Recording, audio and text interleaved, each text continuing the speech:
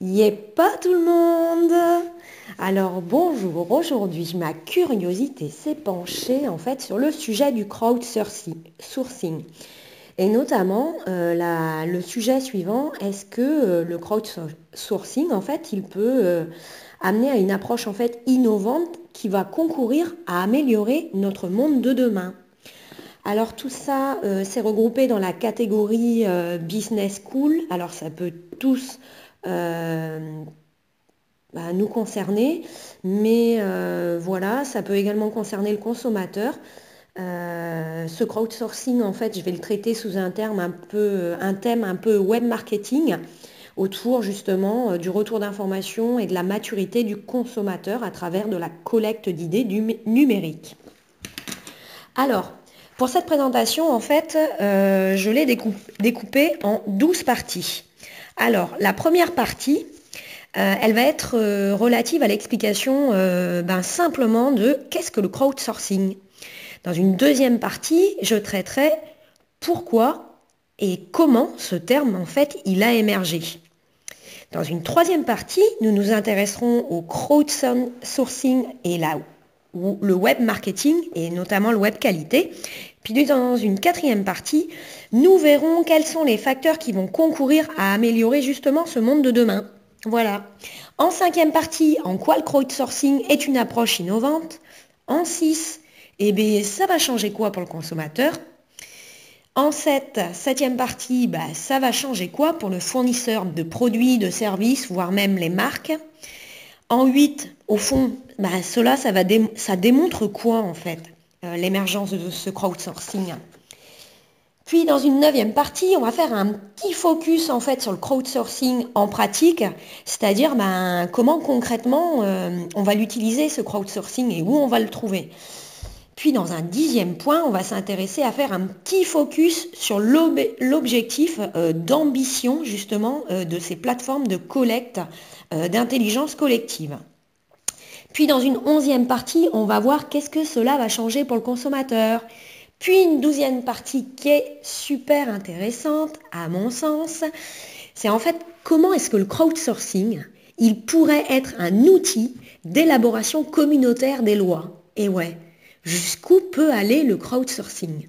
Risque, opportunité, bah, c'est ce qu'on va voir à travers cette présentation.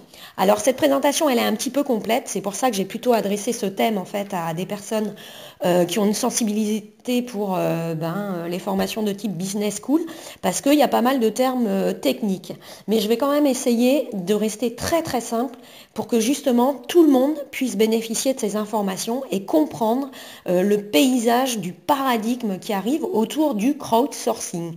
Et on verra même que le crowdsourcing, comme je vais vous dire, ben, ça peut modifier les usages, la consommation, ça va remettre le consommateur au centre. Et on voit que les limites de ce crowdsourcing en fait, il n'y en a pas. Ça peut même euh, modifier en fait euh, le paysage un peu, euh, comment on va dire, du régulateur et de la législation, justement en remettant le consommateur également au centre, avec peut-être un avis sur bah, la législation.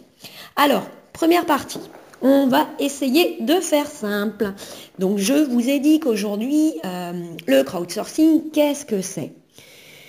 Eh bien, le crowdsourcing, souvent, on le dit comme, euh, on le définit comme un terme qui va en fait désigner le fait d'externaliser la réalisation euh, des tâches à une masse d'individus. Ça, c'est les internautes le plus souvent.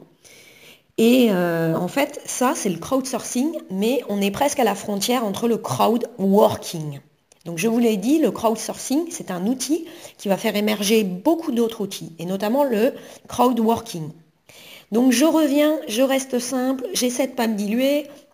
Donc le crowdsourcing, donc c'est euh, voilà tout ce qui vient de la foule. C'est le fait de concentrer les idées de la foule en fait grâce à un outil qu'on va dire numérique. Ça, ça peut se faire à travers les réseaux, euh, les sites web, euh, des fournisseurs ou des grandes marques qui nous demandent voilà d'avoir un retour sur notre niveau de satisfaction lié à l'utilisation d'un service. Donc voilà. Alors, qu'est-ce que le crowdsourcing? Donc pour vous redonner une définition, c'est un outil numérique en fait de communication ascendant. Qu'est-ce que c'est ascendant? La communication ascendante, c'est quand vous communiquez en fait, le consommateur communique, donc à la base de la pyramide, c'est vous, le consommateur, et vous communiquer vers les strates supérieures. Donc en fait, c'est ce qu'on appelle ascendant. L'opposé, c'est descendant. Quand vous êtes dans une entreprise, euh, en règle générale, les dirigeants vous donnent des consignes. Donc ça, c'est une communication qu'on appelle descendante. Au jour d'aujourd'hui, la communication, elle se fait dans l'autre sens. C'est-à-dire que c'est le consommateur qui communique et qui donne son avis aux strates supérieures. Comment? Justement par cet outil numérique et en utilisant des plateformes parfois de crowdsourcing. Alors qu'est-ce que ça va faire ça? Ben euh, en fait le crowdsourcing c'est un outil qui euh, en quelque sorte élargit les moyens de communication supplémentaires euh, dont peut disposer en fait une entreprise. Et ça ça va faire quoi? Ben, Ça va augmenter l'efficience de la relation client. Donc en fait, pour faire simple, le crowdsourcing, c'est quoi? C'est une utilisation d'informations, c'est une collecte centralisée d'informations qui émane de la communauté. Voilà. Donc on redonne du pouvoir aux consommateurs. Alors maintenant, on passe à la deuxième partie. Tout le monde suit C'est parti. Alors pourquoi Et comment ce terme il a émergé? Alors, ben, il a émergé dans un contexte d'émergence, ce nouveau paradigme qu'on pourrait appeler des idées B2C, business to consommateur. Et j'ai plutôt envie de dire C2B, c'est-à-dire consommateur vers le business. Alors, si on reprend par exemple euh, ben, euh, comment je vais dire, une petite présentation en fait du PDG euh, et du fondateur de venteprivée.com, monsieur Jacques-Antoine Grangeon. Qu'est-ce qu'il dit? Eh bien, il dit, lui, que la révolution digitale, en fait, elle a replacé le consommateur au centre de la relation. Alors, voilà, donc ça, effectivement, on en prend conscience. Il y a énormément d'acteurs qui en prennent conscience. Je vous invite à consulter d'autres formations, notamment sur les fintechs et euh, les monopoles bancaires et justement l'émergence de nouveaux acteurs bancaires. Donc pareil, les banques ont la même problématique. Elles travaillent actuellement sur comment remettre en place euh, une relation euh, user first, c'est-à-dire avec le consommateur au centre. Donc ça, c'était une petite parenthèse. Donc ce que je veux vous faire comprendre, c'est que cette révolution digitale, en fait, elle replace le consommateur au centre de la relation, mais dans plein plein de domaines. Et c'est pour ça que souvent, on appelle ça la ruption ou la transformation. C'est-à-dire qu'on connaît actuellement un renversement de la situation à 360 degrés. Alors, qu'est-ce qu'elles vont faire les marques? Eh bien, les marques, elles sont en train de toujours essayer d'améliorer leur offre et leur expérience, on va dire shopping, pour essayer de proposer en fait une sorte de panel d'expérimentation aux consommateurs autour des produits-services. Donc du coup, toujours dans cette deuxième partie, pourquoi et comment ce terme il a émergé? Ben Justement, on comprend que l'émergence de ce nouveau paradigme autour du crowdsourcing, il, a, il trouve son origine en fait depuis quelques années avec l'avènement exponentiel de la digitalisation et de la numérisation. Et oui, l'intelligence artificielle. Euh, on avait le monde d'Internet, aujourd'hui on a le monde d'Internet de la valeur, et en plus de ça, on pousse les outils beaucoup plus loin avec l'intelligence artificielle. Donc de ce fait, la communauté de consommateurs, euh, elle, qu'est-ce qu'elle avait? On va pallier en fait une problématique qu'il y avait actuellement. Ben, c'est que le, consommateur, lui, eh ben, euh, il n'était pas franchement satisfait. Il avait une certaine défiance. Il est un peu sceptique il est un peu revendicaliste, voire parfois même un peu frustré face en fait aux solutions de consommation et aux efforts qui sont mis justement en place ben, euh, partout, euh, par toutes ces marques, ou voire même par des institutions. On va euh, dans un domaine bien plus large. Alors maintenant, je vais aborder la troisième partie. Allez, on s'accroche, on poursuit.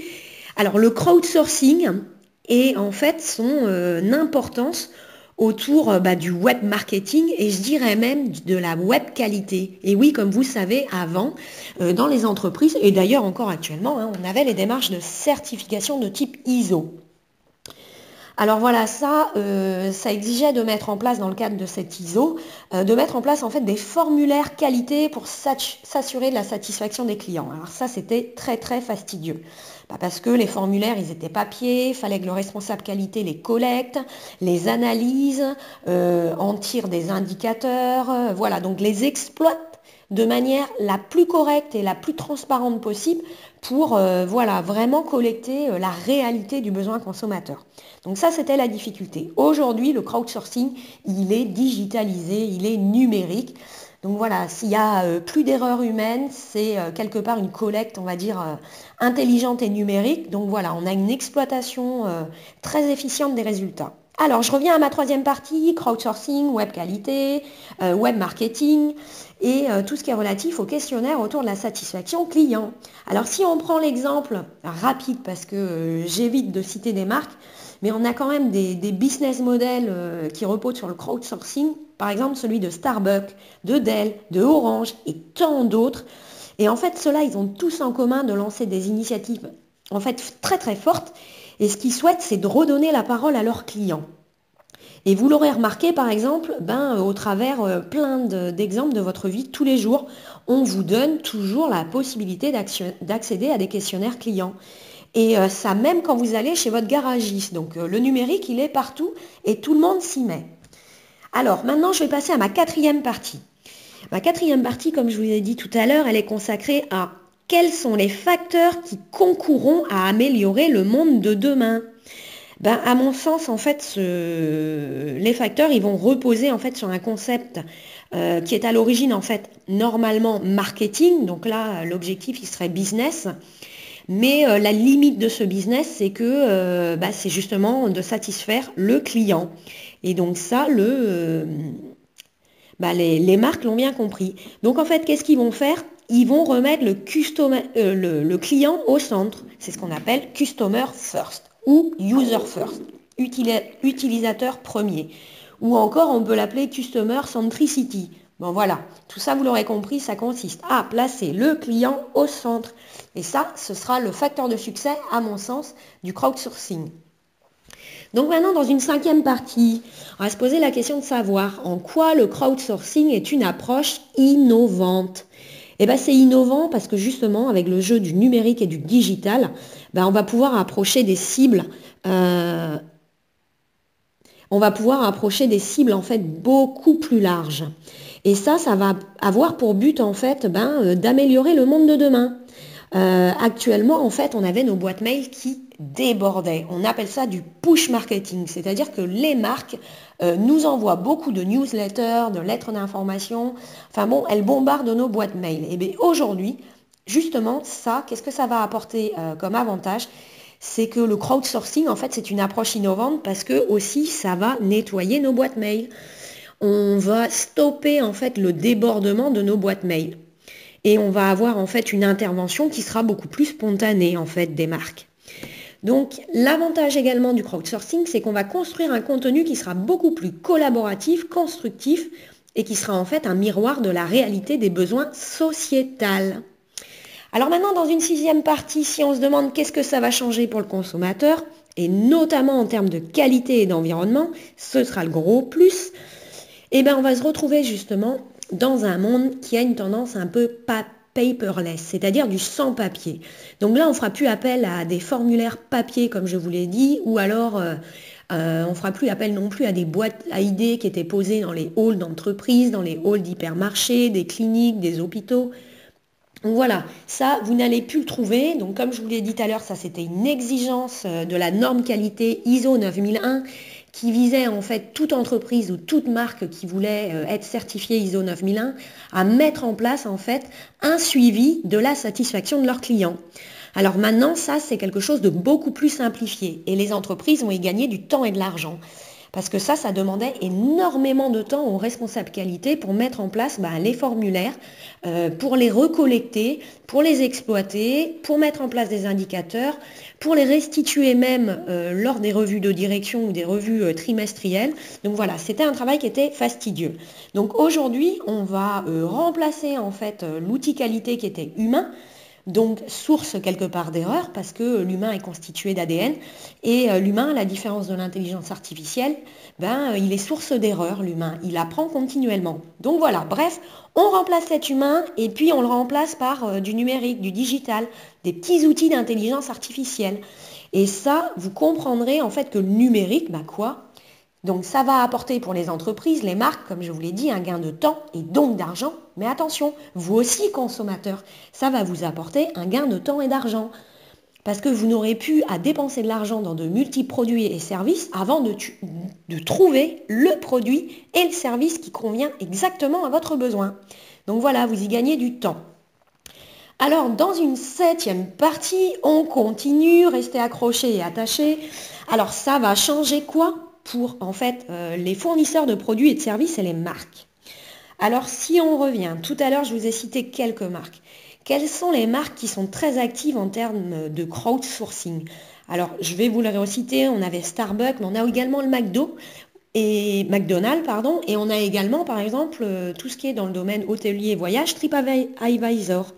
Eux, ils sont très très intéressés par la collecte des idées clients, ou encore de ce qu'on pourrait appeler des contributeurs à l'amélioration continue des produits et services de ces marques. En quelque sorte, vous le consommateur, ben, euh, vous augmentez votre satisfaction, mais vous contribuez également au développement de ces marques. Donc quelque part, vous êtes un consommateur participatif. Et l'opportunité euh, de cet horizon, en fait, c'est que plus tard, vous, le consommateur, nous, les consommateurs, nous allons pouvoir donner le sens que nous souhaitons au virage de l'innovation.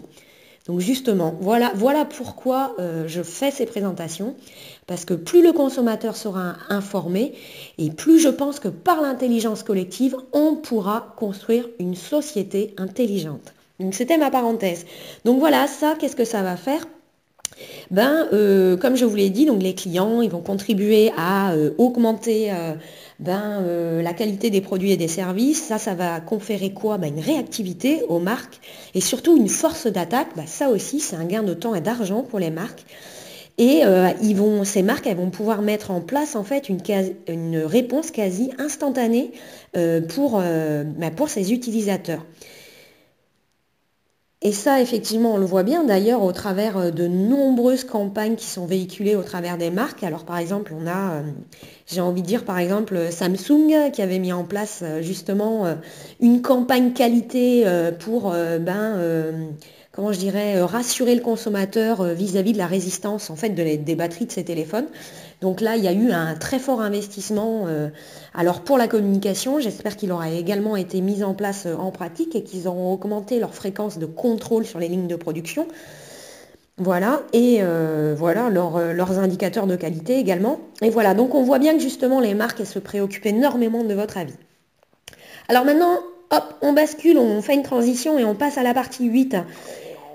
Ben ça, en fait, ça démontre quoi l'émergence de ce crowdsourcing? Et en fait, d'où vient ce retour d'idées en masse des contributeurs? Qu'est-ce que ça va démontrer? Ben Ça, ça démontre l'état justement de maturité qui est actuellement acquise par les consommateurs et ce depuis plusieurs années. En fait, avec l'émergence euh, d'Internet, ben, on voit bien que le consommateur, il est éduqué, il est formé, il est sensibilisé en fait. Tout ça, comme je vous l'ai dit, d'une manière massive par Internet, mais également par la force des réseaux, des médias sociaux qui se sont construits en fait et qui construisent, qui concourent à construire, j'ai envie de dire en fait une économie collaborative de partage. Et ça, c'est cool. Donc, l'utilisateur, le consommateur, lui, il a bien compris. Il a bien pris conscience qu'il est user first. Ben, néanmoins, ce dernier, il est également de plus en plus sensible à la fragilité du monde qui l'entoure. Et je viendrai un peu plus tard sur la euh, politique RSE, euh, voilà. Et en fait, qu'est-ce qu'il va faire ce consommateur, ce user first et autres? Ben, En fait, il va agir dans le sens d'une avancée collective au sein d'une économie de partage. Donc on est en train de le construire collectivement. Alors maintenant, tac, on va faire une transition justement sur euh, ma neuvième partie qui est consacrée en fait à, faire un focus en fait sur le crowdsourcing en pratique. C'est-à-dire en fait, ben, euh, quelles sont les plateformes de collecte d'idées, d'avis, de remarques? Alors notamment, ben, euh, les points positifs, comme je vous l'ai dit, c'est en pratique comment ça va être mis en place ben, par des plateformes. On a déjà les sites web des marques mis en place sur lesquels vous pouvez remplir euh, des questionnaires de satisfaction client ou alors, euh, après que vous ayez envoyé euh, votre voiture au garage dans votre boîte mail, vous allez trouver un questionnaire qui vous invite à venir euh, remplir le questionnaire de satisfaction client. Donc ça maintenant, ça va être centralisé. Pourquoi? Bah, C'est également pour vous faire gagner du temps. Parce que vous n'allez pas aller sur le site internet de chacune des marques ou forcément vous n'allez pas le faire. Donc comment est-ce qu'on fait en sorte d'inviter le consommateur à donner son avis justement à collecter des idées ou des remarques? Et bien justement, on centralise ces plateformes. Donc là, il y a un gros travail qui est fait autour de la centralisation de plateformes pour essayer justement ben, de centraliser l'information. Donc voilà, ça, ça pourrait être le cas par exemple pour la SNCF, les hôtels, etc. Donc on vise justement à, centraliser toute cette information. Donc en fait, ces plateformes de crowdsourcing, elles vont en quelque sorte être des plateformes multimarques. Et ça, c'est un gain de temps. Donc ça, c'est une opportunité. Euh, en ce qui concerne en fait les opportunités pour les marques, eh ben, c'est que le crowdsourcing, ça va leur conférer et leur donner la possibilité d'avoir un autre outil, c'est-à-dire un canal supplémentaire de communication. Et euh, pour communiquer, les marques, elles, ont tendance à utiliser en fait les multicanaux numériques. C'est-à-dire plus elles ont de canal, ben, ce canal, c'est ce qui va leur permettre de tirer sur l'information. Plus elles ont de canal, plus elles pourront collecter de la data. Et cette data, eh ben, c'est une data qui sera euh, orientée autour des avis, des remarques et des idées clients. Donc on est vraiment face à l'émergence pour les marques euh, d'un nouvel outil de communication ascendant numérique. Et maintenant, euh, j'ai envie de passer. Alors, c'est pas que j'ai envie, c'est qu'on va passer en fait à la dixième partie, qui est en fait un focus sur l'objectif des ambitions de ces plateformes de collecte autour de l'intelligence, que je pourrais dire collective. Qu'est-ce que ça va faire? Elles ambitionnent quoi, ces plateformes?